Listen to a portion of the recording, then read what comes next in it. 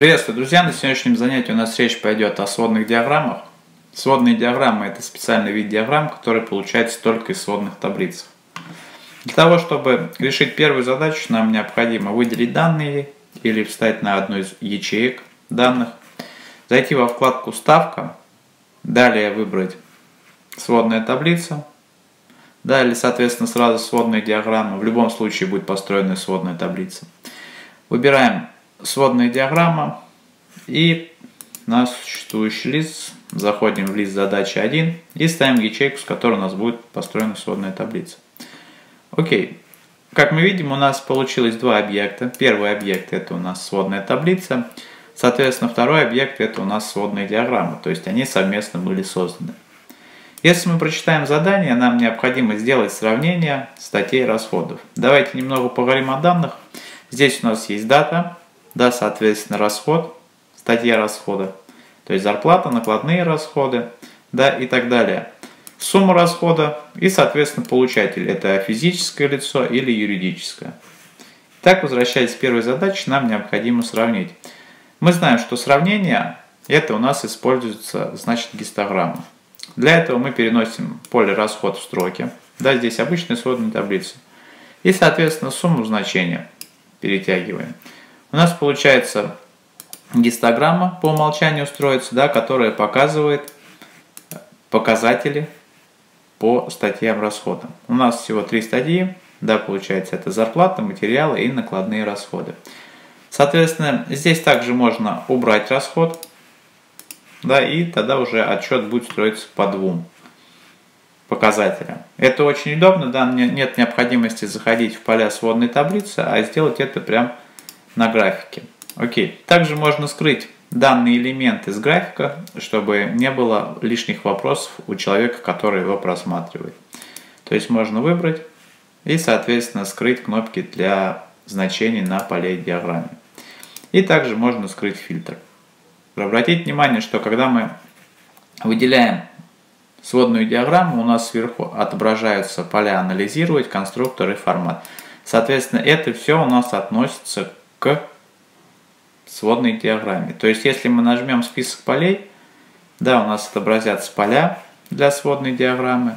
И также можем переместить и обновить данные для сводной диаграммы и сводной таблицы соответственно. То есть это у нас единое целое и оно неразрывное. Окей, для удобства и наглядности диаграммы можно отформатировать, применив Shift Center Gothic. Shift Center Gothic используется по умолчанию да, во всех приложениях, которые у нас находятся на Windows. Вот. Также цифры можно использовать сторонним шрифтом, это FB Agency. Окей, то есть и увеличить, они будут более наглядными. Вот, и в дальнейшем также отформатировать нашу диаграмму по критериям, которым нам необходимо убрать легенду и сделать ее в данном виде. Отлично. Теперь поставьте видео на паузу и напишите комментарий, как сделать диаграммы в Excel, сводные таблицы и, соответственно, сводные таблицы. Можно написать сводные диаграммы. Идем далее. Идем далее. Следующая задача. Нам необходимо найти процентное соотношение по статьям расходов зарплаты между физическими лицами. Для этого мы заходим в сводные таблицы, выбираем на существующий лист. Далее выбираем задачу 2, нажимаем ячейку B7 и нам необходимо сделать следующее. Нам нужно выбрать, получается, расход в поле фильтры. Далее выбрать получатель в поле строки. И, соответственно, выбрать сумму в поле значения. Если мы выберем в расходе зарплата, да, у нас останется только физические лица. После чего нам нужно выделить таблицу и, соответственно, из нее построить круговую диаграмму. Круговая или сегментная диаграмма у нас отвечает за соотношение процентов да, от общей суммы. То есть у нас есть общий итог, да, и от него будет посчитано уже, соответственно. Выделяем значение, заходим ставка, далее выбираем круговая и выбираем круговую диаграмму.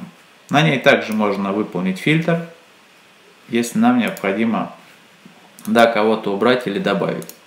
Также можно отформатировать. Через вкладку «Конструктор» добавить для удобства процентные соотношения. Окей.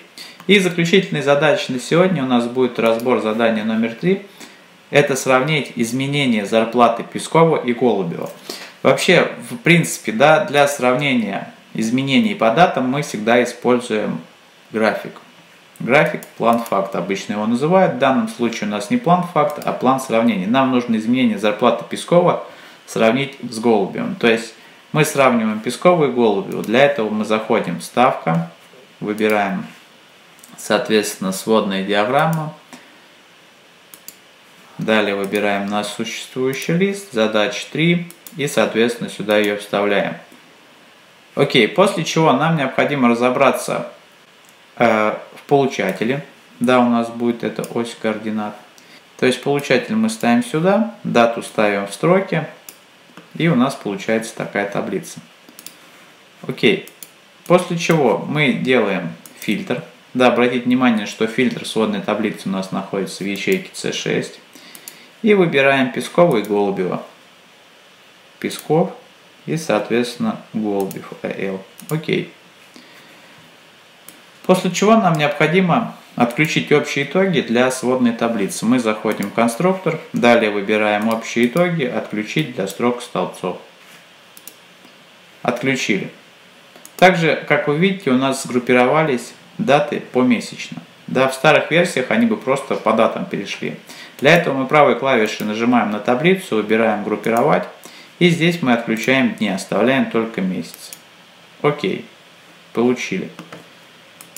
Следующее действие, которое мы делаем, мы изменяем тип графика. Для этого заходим в конструктор и выбираем изменить тип диаграммы.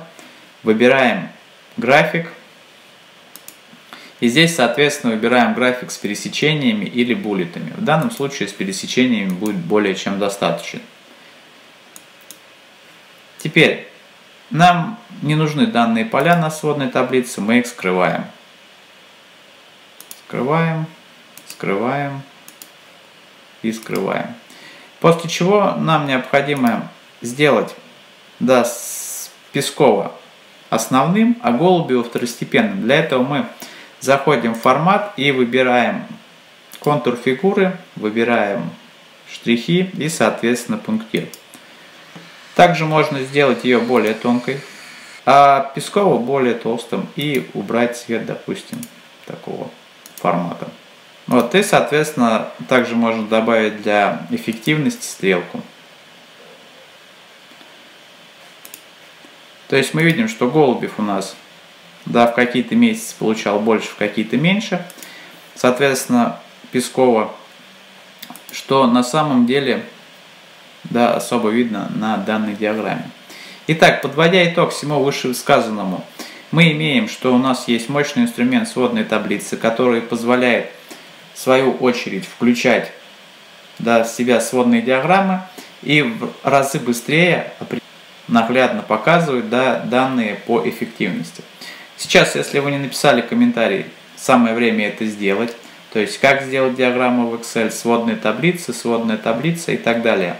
С вами был Полянский Алексей. Спасибо большое за внимание. До следующей среды. Пока.